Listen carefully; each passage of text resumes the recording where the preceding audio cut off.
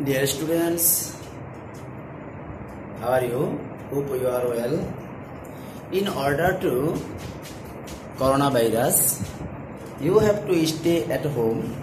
For this reason, our honorable MP, our SMC, and our head teacher and our other teachers have decided to uh, deliver some lecture and online classes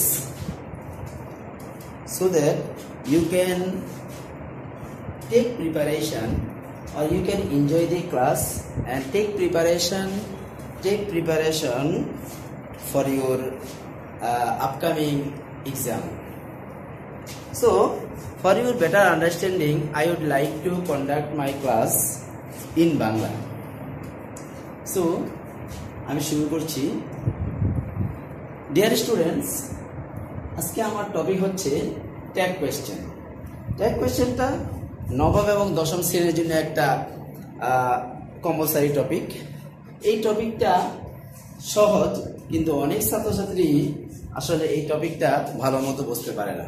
সেই জন্য আমি এই tag question একদম শুরু থেকেই আলোচনা করছি।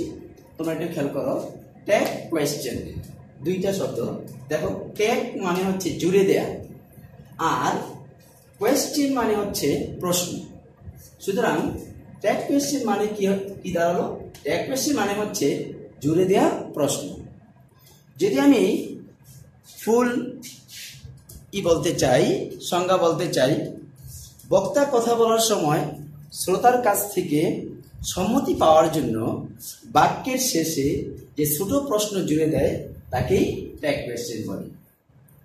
তো আজকে এই ট্যাগ কোয়েশ্চেন পড়ার ক্ষেত্রে আমাদের লার্নিং অবজেক্টিভ হচ্ছে ডেফিনেশন অর্থাৎ at the end of the lesson, students will be able to define tag question next, ছাত্রছাত্রীরা অপারেটরগুলো চিনতে পারবে। অপারেটর এখানে অক্সিলারি ভার্বগুলোকে আমরা অপারেটর হিসেবে ধরে নিয়েছি। তিন নম্বর অবজেক্টিভ হচ্ছে how to make tag question কীভাবে ট্যাগ কোয়েশ্চেন করতে হয়, সেগুলো তোমরা জানতে পারবে। এখন আমি কতগুলো নাম্বার দিয়ে তোমাদের ট্যাগ কোয়েশ্চেনটা সহজে বোঝানোর চেষ্টা করেছি। দেখো এ নাম্বারে আমি ট্যাগ কোয়েশ্চেনের সংজ্ঞা লিখলাম বি নাম্বারে অপারেটরগুলো আমি লিখলাম অপারেটর হচ্ছে চব্বিশটি।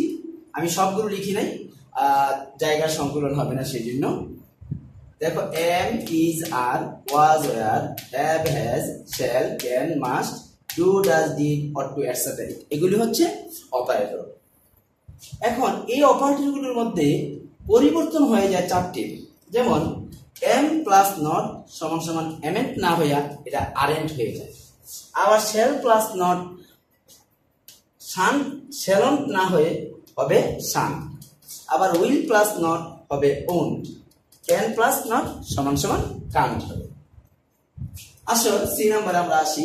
আমাদের সাবজেক্ট হচ্ছে নয়টি। I we you he she they it that এগুলি হচ্ছে সাবজেক্ট নেক্সট আসো। নেগেটিভ হচ্ছে এগারোটি।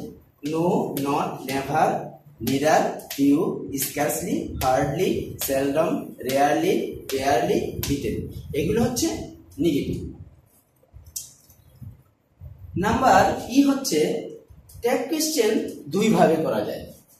দেখো ট্যাগ কোয়েশ্চেন দুই ভাবে সম্পূর্ণ। একটা হচ্ছে অ্যাফার্মেটিভ ট্যাগ কোয়েশ্চেন আর হচ্ছে নেগেটিভ ট্যাগ কোয়েশ্চেন সেন্টেন্স যদি অ্যাফার্মেটিভ হয়, তাহলে ট্যাগ হবে নেগেটিভ আর নেগেটিভ সেন্টেন্স হলে অ্যাফার্মেটিভ ট্যাগ হবে। এক্সাম্পল হিসেবে আমরা যদি ধরি যেমন অ্যাফার্মেটিভ সেন্টেন্স নেগেটিভ ট্যাগ দেখো I have done it I have done it এটা হচ্ছে একটা স্টেটমেন্ট একটা সেন্টেন্স এই সেন্টেন্সটাকে আমরা এখন ট্যাগ কোয়েশ্চেন করব। দেখো আই হ্যাভ ডান ইট এটা কিন্তু একটা অ্যাফার্মেটিভ সেন্টেন্স এই ট্যাগ কোয়েশ্চেনটা হলো হ্যাভেন্ট আই অর্থাৎ নেগেটিভ ট্যাগ ঠিক একইভাবে নেগেটিভ সেন্টেন্সে অ্যাফার্মেটিভ ট্যাগ হয়। যেমন ইউ হ্যাভেন্ট ডান ইট এর ট্যাগ কোয়েশ্চেন হচ্ছে হ্যাভ ইউ এই হচ্ছে আমাদের ট্যাগ কোয়েশ্চেন দুইভাবে করতে হবে। এখন আমরা শিখব how to make tag question কীভাবে ট্যাগ কোয়েশ্চেন তোমরা করবে? দেখো, প্রথমে আমরা যে সেন্টেন্সটি দেওয়া থাকবে, প্রদত্ত তোমাদের প্রশ্নে পাঁচটি বাক্য দেওয়া থাকবে। এই পাঁচটি বাক্যের মধ্যে প্রতিটি বাক্য একটি একটি করে তুলে তারপর তোমার ট্যাগ কোয়েশ্চেনটা সমাপ্ত করতে হবে। প্রথমে তুমি লিখবে, প্রদত্ত সেন্টেন্সটি তুলবে, তারপরে একটি কমা দিবে, তারপরে বাক্যে যদি অক্সিলারি ভার্ব থাকে, তাহলে অক্সিলারি ভার্ব বসাবে। এরপর বাক্যটি যদি অ্যাফার্মেটিভ হয় তাহলে তুমি অক্সিলারি ভার্বের সাথে কন্ট্যাক্ট ফর্ম হিসাবে এন কমা টি নট এর কন্ট্যাক্ট ফর্ম বসাবে। এরপরে প্রোনাউন বসবে সাবজেক্টের pronoun pronoun of subjective pronoun pronoun of subject সাবজেক্টের প্রোনাউন ফর্ম বসবে। এখানে যে সাবজেক্টটি থাকবে সাবজেক্টটি যদি প্রোনাউন হবে, তাহলে সেই প্রোনাউনই বসবে। আর সাবজেক্টটি যদি নাউন হয়, তো সেই নাউনের প্রোনাউন বসবে। সাবজেক্টকে প্রণয়ন করতে হলে আমরা জানি ব্যক্তির ক্ষেত্রে দুই ধরনের প্রোনাউন হয়। যে সমস্ত নাউনগুলো দ্বারা পুরুষদেরকে বোঝায়, সেগুলির পরিবর্তে হি বসে।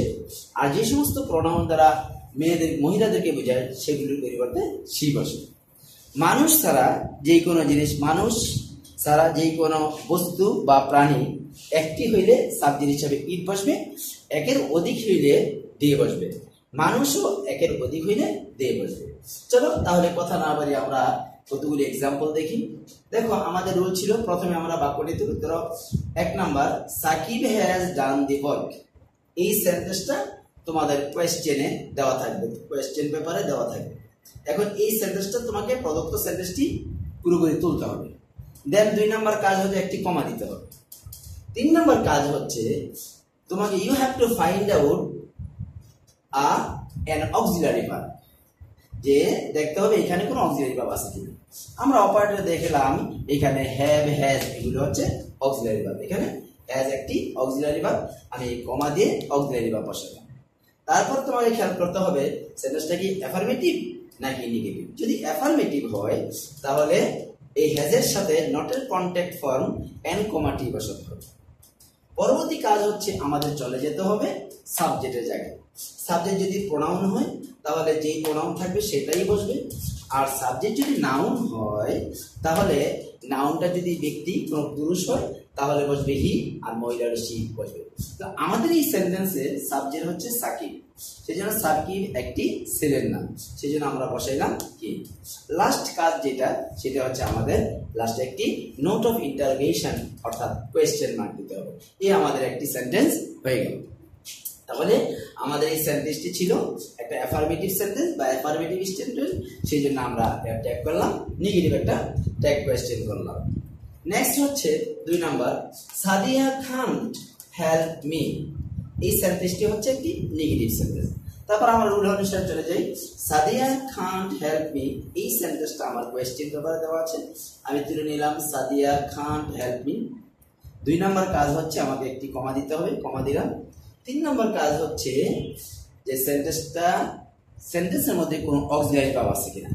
তো অক্সিলারি ভাব আমরা খুঁজে দেখি, এই যে কান, কেন হচ্ছে এখানে অক্সিলারি ভাব আর সেন্টেন্সটা নেগেটিভ হলে সুবিধা বেশি নটের পূর্বের শব্দটাই আসলে অক্সিলারি ভাব সচরাচর হয়ে থাকে। এখানে আমাদের অক্সিলারি ভাব হচ্ছে ক্যান বসাইলাম ক্যান পরবর্তী কাজ হচ্ছে আমাকে চলে যেতে হবে সাবজেক্টের এখানে। সাবজেক্ট আছে হচ্ছে সাদিয়া। সাদিয়া একটি মেয়ের নাম সেই জন্য আমরা কি বসালাম? মেয়ের নাম, মেয়েদের পরিবর্তে সাবজেক্ট বসে সি যেটা সি বসে আর লাস্ট কাজ হচ্ছে একটি কোয়েশ্চেন মার্ক দিতে হবে। এই হচ্ছে যে সমস্ত সেন্টেন্সে অক্সিলারি ভার্ব থাকবে, সেই সমস্ত সেন্টেন্সের ট্যাকুয়েশন এভাবে করতে হবে। এখন আমরা দেখব যে সমস্ত বাক্যে অক্সিলারি ভার্ব থাকে না, সেই সমস্ত বাক্যের ট্যাকুয়েশন আমরা কীভাবে করব? যে সমস্ত বাক্যে ট্যাকুয়েশন করতে হলে আমাদের খেয়াল করতে হবে, ইংরেজি বারো টেন্সের বারোটা ফর্মের মধ্যে দুটি টেন্সের মধ্যে কোনো অক্সিলারি ভার্ব নাই। একটি হচ্ছে সেটি জানো, সেগুলো কি?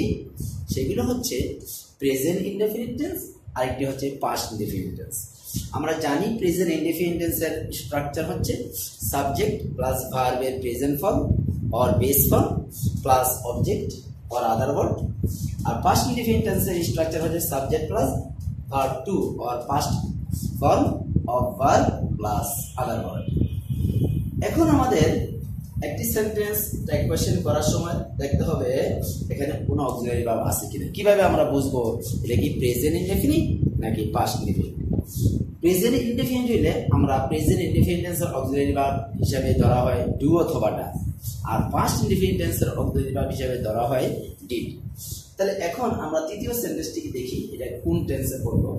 উই গো টু স্কুল দেখো উই হচ্ছে একটি সাবজেক্ট গো হচ্ছে base form or present form R to school এটা হচ্ছে আদার ওয়ার্ড তাহলে সাবজেক্ট প্লাস ভার্ব ওয়ান এটি হচ্ছে আমাদের রুল অনুসারে প্রেজেন্ট ইনডেফিনিট আমরা জানি যে সাবজেক্ট সেন্টেন্সটি যদি প্রেজেন্ট ইনডেফিনিট হয়, সেটা ট্যাগ কোয়েশ্চেন হচ্ছে ডু অথবা ডাজ এখন আমাকে জানতে হবে কোথায় ডু বসবে, কোথায় ডাজ বসবে? চলো আমরা দেখি কোথায় ডু বসে, কোথায় ডাজ বসে।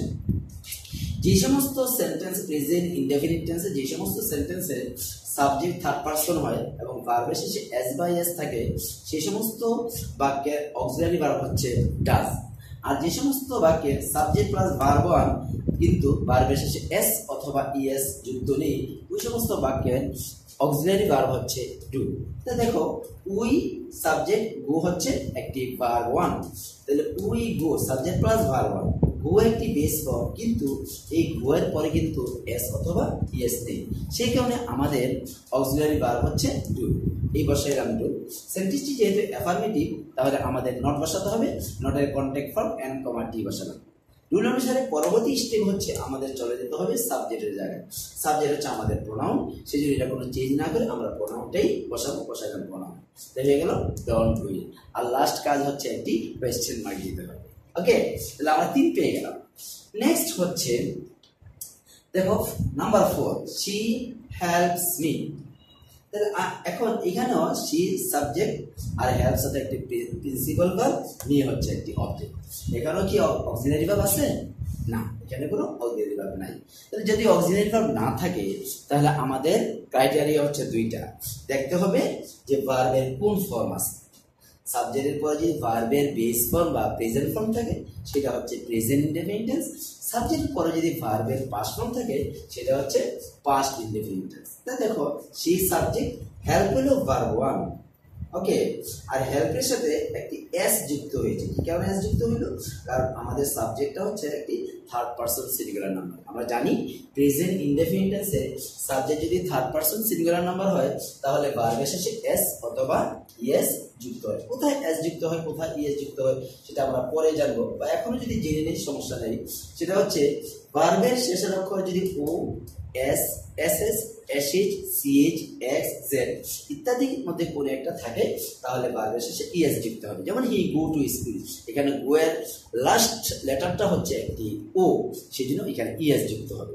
কিন্তু আমাদের এখানে হেল্প লাস্ট লেটারটা হচ্ছে পি এই জন্য এখানে কোনো ইএস যুক্ত না হয়ে এস যুক্ত হবে যাই হোক, আমরা দেখলাম subject plus verb one verb ওয়ানের পরে একটি এস যুক্ত আছে। অতএব রুল অনুসারে আমাদের এখানে অক্সিলারি ভার্ব হবে ডাজ সেই জন্য আমরা ডাজ বসাই সেন্টেন্সটি যেহেতু অ্যাফার্মেটিভ এই জন্য নট নটের কন্ট্যাক্ট ফর্ম এন কমা দিয়ে দিলাম। রুল অনুসারে পরবর্তী সাবজেক্ট হচ্ছে, পরবর্তী সাবজেক্টের জায়গায় চলে যেতে হবে। সাবজেক্ট হচ্ছে আমাদের সি সি একটি প্রোনাউন সেজন্য আমরা সি বসিয়ে দিলাম। লাস্ট কাজ হচ্ছে আমাদের একটি নোট অফ ইন্টারগেশন বা কোয়েশ্চেন মার্ক বসানো। নাম্বার ফাইভ নাম্বার ফাইভ হচ্ছে রোহান ফিনিশড ইজ লেসন দেখো রোহান রোহান সাবজেক্ট ফিনিশ হচ্ছে একটি প্রিন্সিপাল ভার্ব আর হিজ লেসন হচ্ছে অবজেক্ট তাহলে এখানে কি অক্সিলারি ভার্ব আছে? Is there any auxiliary verb question উত্তর হচ্ছে না, এখানে কোনো অক্সিলারি ভার্ব নাই। কারণ এই অপারেটরগুলোর মধ্যে there is no operator in this sentence তাহলে আমাদের কি করতে হবে? তাহলে আমাদের দেখতে হবে ভার্বের ভার্বের অবস্থাটা দেখতে হবে বার্বের ফর্মটা দেখতে হবে। এটা কোন ফর্মে আছে? প্রেজেন্ট ফর্মে আছে? পাস ফর্ম নাকি পাস পার্টিসিপেল ফর্ম দেখো, রোহান ফিনিশ দি এই ফিনিশ হচ্ছে একটি বার এর পাস ফর্ম হচ্ছে finish E D E D যোগ হইল সেটা হয়ে গেল পাস্ট ফর্ম তাহলে রোহান সাবজেক্ট ফিনিশড হইল ভার্ব টু আর হিজ লেসন হইল অবজেক্ট তাহলে আমাদের মিলে গেল, এটা হচ্ছে কোন টেন্স পাস্ট ইনডিপেন্ডেন্স কিছুক্ষণ আমরা, আগে আমরা যেটা জানলাম, যে পাস্ট ইনডিপেন্ডেন্সের স্ট্রাকচার হচ্ছে subject plus verb two plus object তাহলে subject plus verb two plus object এটা হচ্ছে পাস্ট ইন্ডিপেন্ডেন্ট পাস্ট ইন্ডিপেন্ডেন্সের অক্সিলারি আমরা কি বলেছিলাম? পাস্ট ইন্ডিপেন্ডেন্সের ভার্ব হচ্ছে ডিড সেজন্য আমরা ডিড বসালাম সেন্টেন্সটা অ্যাফার্মেটিভ হওয়ার কারণে আমরা এন কমা টি দিয়ে দিলাম, কি হলো ডিডেন্ট হয়ে গেল। তারপরে চলে যাব কোথায় আমরা? সাবজেক্ট সাবজেক্ট হচ্ছে রোহান। রোহান একটি ছেলের নাম সেই জন্য আমরা বসাইলাম কি আর লাস্ট কাজ হচ্ছে আমাদের পরবর্তীতে একটা কোয়েশ্চেন মার্ক বসাতে হলে, আমরা কোয়েশ্চেন মার্ক বসিয়ে দিলাম। রোল নাম্বার এরপরে we go to school she helps me R one finish the work এই তিনটা সেন্টেন্সে দিয়ে দিলাম ছিল কারণ এগুলো হচ্ছে প্রেজেন্ট ইনডেফিনিট আর হলো পাস্ট ইনডেফিনিট তাহলে আমরা প্রেজেন্ট ইনডেফিনিট এবং পাস্ট ইনডেফিনিট টেন্সের অ্যাফার্মেটিভ সেন্টেন্সগুলো ট্যাগ কোয়েশ্চেন করলাম। এখন আমরা এই দুটি টেন্সের নেগেটিভ সেন্টেন্সগুলো ট্যাগ কোয়েশ্চেন করব। আমরা জানি প্রেজেন্ট ইনডেফিনেন্সকে যদি আমরা নেগেটিভ করতে চাই, তাহলে সাবজেক্টের পরে ডু নট অথবা ডাজ নট বসাতে হয়। অ্যাকর্ডিং টু সাবজেক্ট সাবজেক্ট অনুসারে ডু অথবা ডাজ বসিয়ে আমরা নেগেটিভ করতে পারি। আর পাস ইনডিফিনেন্সকে নেগেটিভ করতে হইলে আমাদের সাবজেক্টের পরে ডিড নট বসাতে হয়। তাহলে রুল অনুসারে আমরা ছয় নাম্বার যদি দেখি দে ডন ওয়ার্ক হার্ড তাহলে সাবজেক্টের পরে এখানে ডন্ট আছে, অর্থাৎ ডু নট ডু নটের কন্টেক্ট ফর্ম হচ্ছে ডন্ট এই ডন্ট থাকার কারণে সেন্টেন্সটা প্রেজেন্ট ইনডেফিনিট আমরা যদি এটা প্রেজেন্ট ইনডেফিনিট নাও চিনি তাহলে সমস্যা নেই। কারণ আমরা জানি সচরাচর নটের পূর্বের শব্দটাই হচ্ছে একটা অক্সিলারি ভার্ব আমাদের অক্সিলারি ভার্ব হচ্ছে প্রথমে লাগে সেই জন্য আমরা যদি এই সেন্টেন্সটাকে কোয়েশ্চেন করতে চাই, তাহলে এই সেন্টেন্সে অক্সিলারি ভার্ব হচ্ছে নটের পূর্বের এই দুটা হচ্ছে একটি অক্সিলারি ভার্ব তাহলে আমরা এই অক্সিলারি ভার্ব বসাবো। সেন্টেন্সটা যেহেতু নেগেটিভ তাহলে আমাদের এন কমাটি বসাতে হবে। তারপরে আমাদের চলে যেতে হবে কোথায়? সাবজেক্টের জায়গায়। সাবজেক্ট কি আছে? দে তাহলে আমরা দে বসালাম। লাস্ট কাজ হচ্ছে আমাদের নোট অফ ইন্টারগ্রেশন বসাতে হবে। আমরা নোট অফ ইন্টারগ্রেশন বসিয়ে দিলাম। এরপরে দেখো, এরপর দেখো প্রেজেন্ট ইনডিফিনিটেন্সের আরেকটি নেগেটিভ সেন্টেন্স সেই নেগেটিভ সেন্টেন্সটা হচ্ছে she doesn't come here she হচ্ছে একটি সাবজেক্ট ডাজ হচ্ছে অক্সিলারি ভার্ব আর নেগেটিভ হওয়ার কমা টি দিলাম। কাম হেয়ার এটা হচ্ছে একটি নেগেটিভ সেন্টেন্স এই সেন্টেন্সের অক্সিলারি ভার্বটা কি? আমরা জানি নটের পূর্বের শব্দটাই হচ্ছে অক্সিলারি ভার্ব এখানে ডাজ হচ্ছে অক্সিলারি ভার্ব সেজন্য আমরা ডাজ বসিয়ে দিলাম। সেন্টেন্সটা যেহেতু নেগেটিভ আমাদের এক কমা টি বসাতে হলো না, আমরা বসালাম। সাবজেক্ট কি? সি আমরা সি বসিয়ে দিলাম। নেক্সট হচ্ছে আমাদের past indefinite tense Jamil did not buy the book Jamil বইটি কিনে নাই। এখানে অক্সিলারি ভার্বটা হচ্ছে ডিড সেজন্য আমরা ডিড বসালাম। সিলেসটা যেহেতু অ্যাফার্মেটিভ আমরা নেগেটিভ সেজন্য আমাদের এন কমা টি বসাতে হবে না। আমরা ডিরেক্ট চলে যাব সাবজেক্টের জায়গায় সাবজেক্ট ছিল জামিল জামিল একটি ছেলের নাম। সেজন্য আমরা কি বসালাম? ডিড বসিয়ে দিলাম। ইয়া সরি এই জন্য আমরা হি বসালাম। আর লাস্ট কাজ হচ্ছে নোট অফ ইন্টারভেশন বসিয়ে দিলাম।